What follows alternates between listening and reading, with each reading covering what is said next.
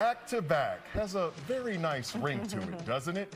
The University of Michigan football team received their 2022 Big Ten championship rings this weekend. Let me show you this one right here.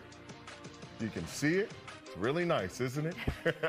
the ceremony was led by head coach Jim Harbaugh. The rings are in recognition of Michigan's 43 22 victory over Purdue last December. My son, Shomari Stone II, Quinten Johnson, Cam Goode, Blake Corum, Jure Fish, and Kris Jenkins are some of the many DMV players on the team who are now back to back Big Ten champions.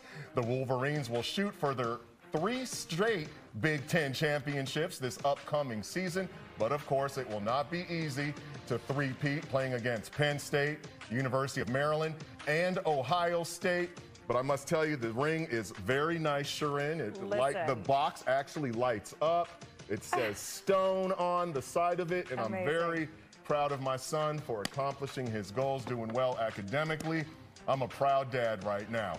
Yes. The Ohio State Michigan game airs on November 25th here on Fox 5. It's called The Game.